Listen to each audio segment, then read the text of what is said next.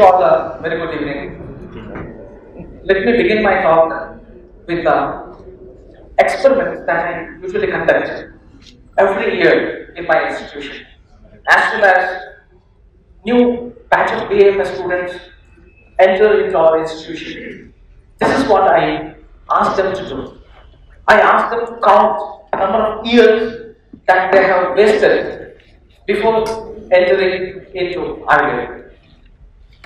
And it is usually somewhere around 2 to 5 years or 2 to 4 years. And on an average, in a batch of 60 students, it amounts to be around 200 years.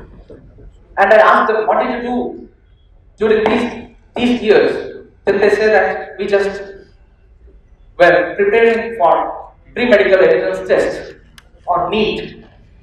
So, what I want to emphasize is our youth are wasting 200 human years per batch in preparation.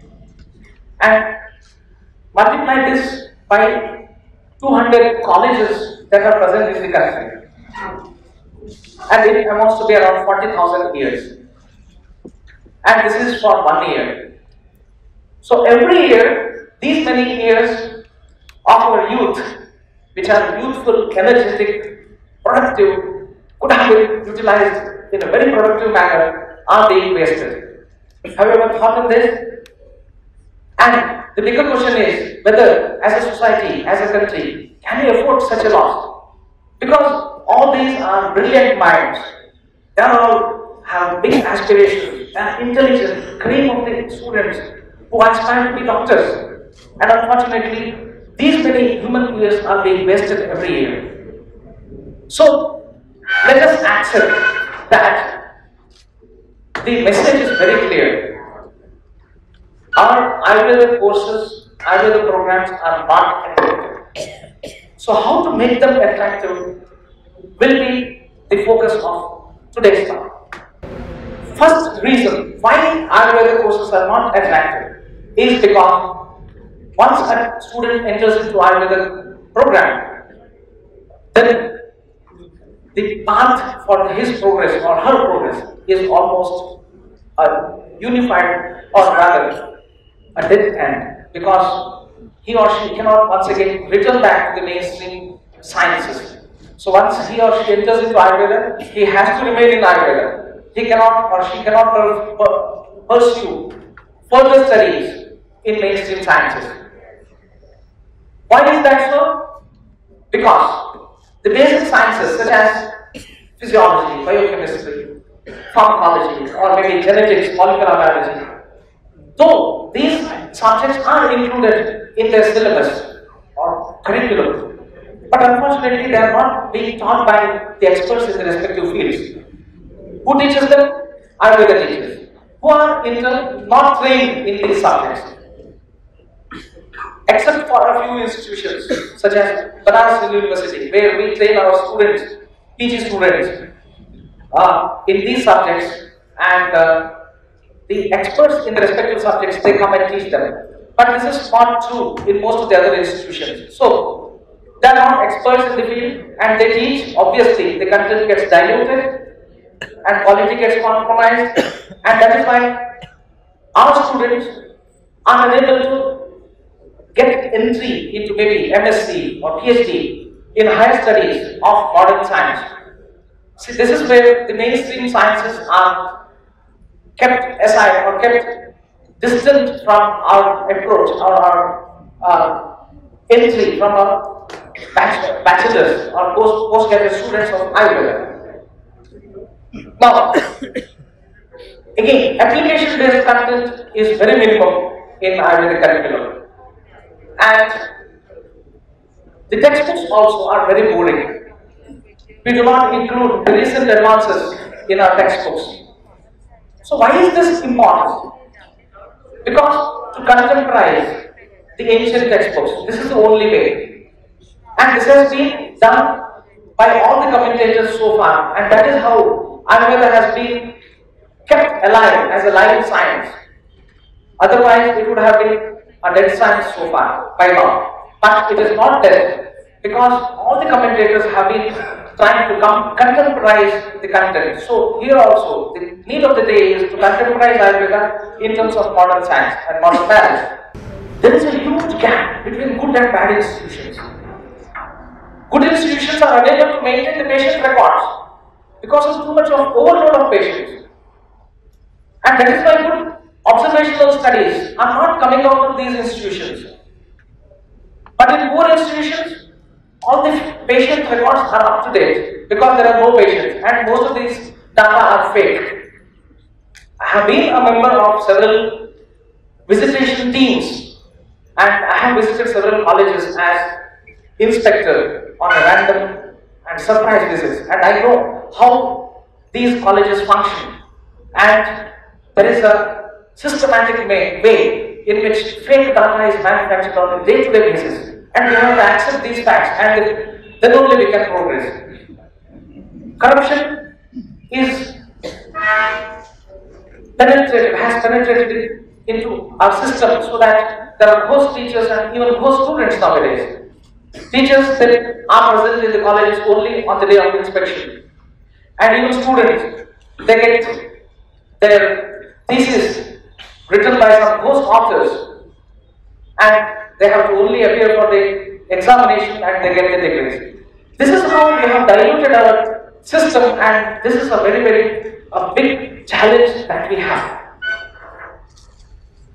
How to counteract this and how to do some, something about it. First thing is stop opinion-based policies.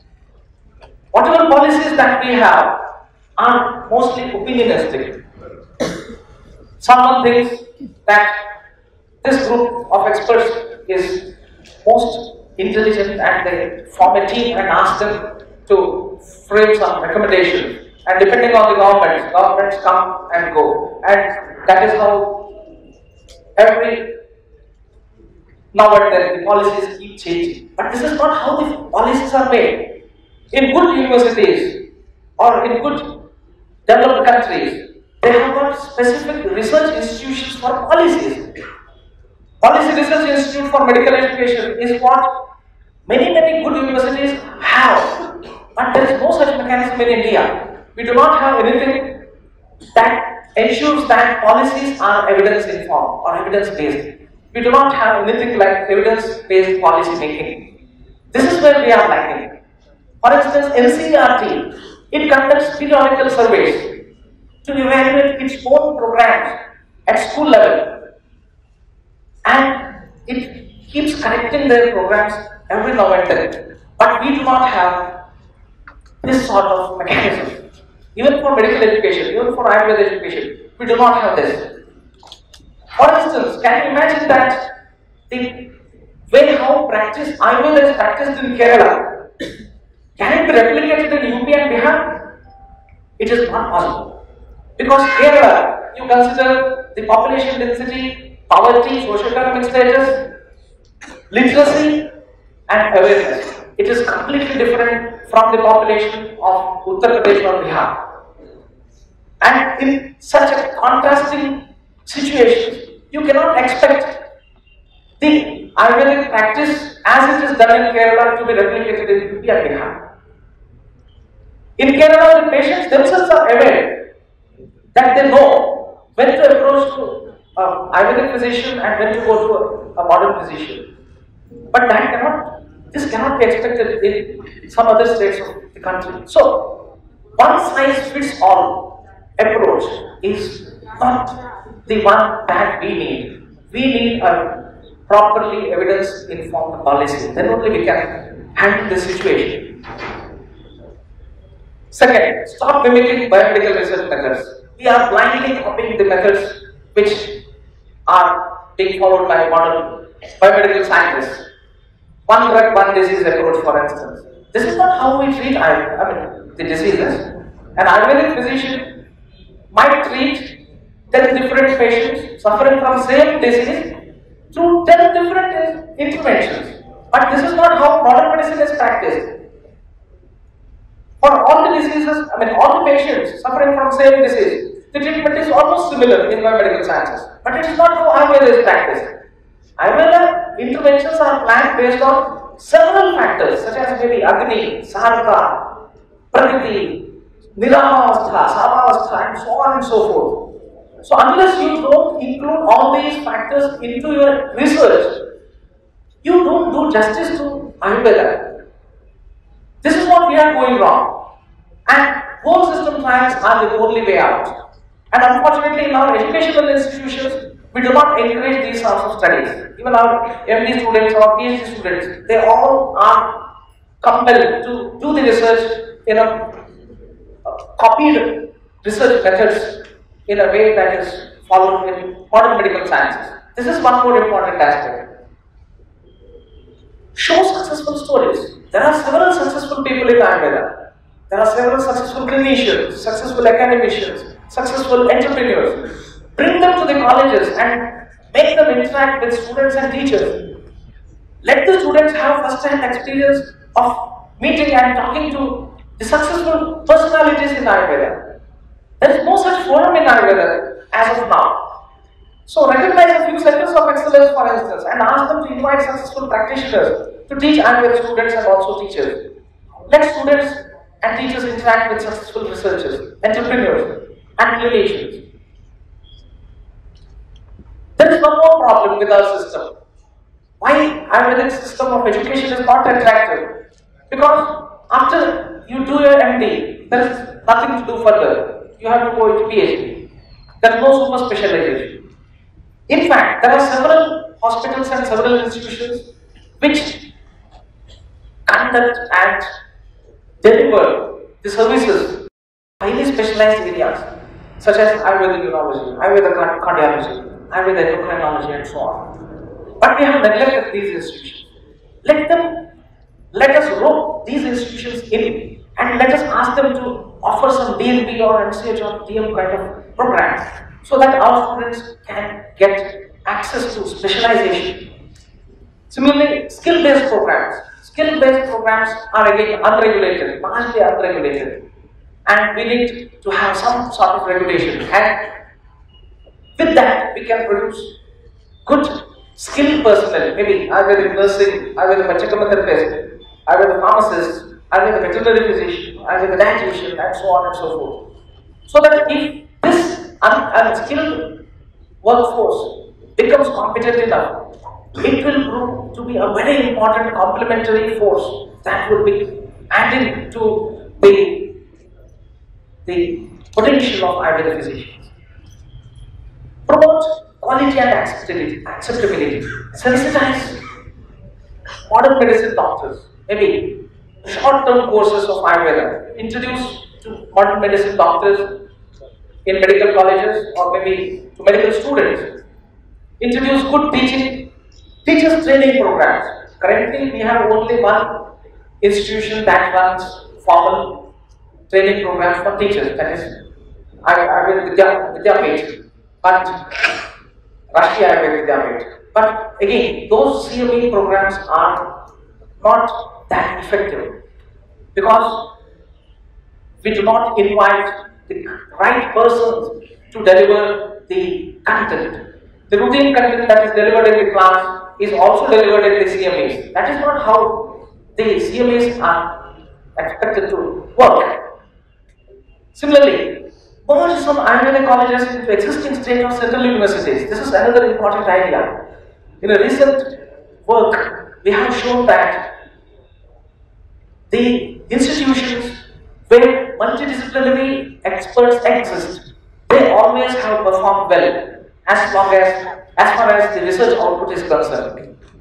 When compared with those institutions which are standalone institutions and isolated ones, where you have not only Ayurvedic practitioners and academic teachers.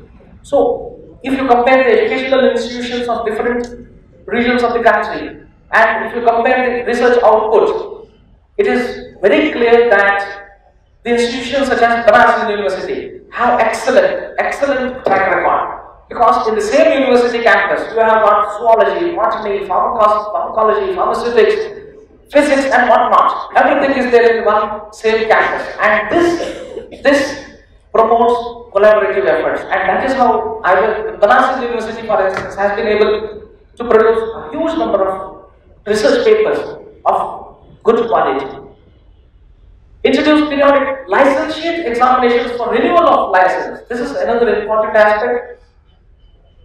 If you if we don't do this, there is there will be no mechanism to check whether our clinicians are really maintaining and keeping them themselves updated or not. Because our, there is nothing called uh, lifelong learning which is encouraged in our usual routine curricula to ensure that our products become, our graduates become lifelong learners. This is what is to be ensured.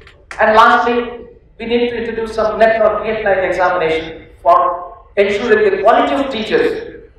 Just because one has MD or MSKY to his credit or her credit, it is it is not possible that he will or she will be a good teacher.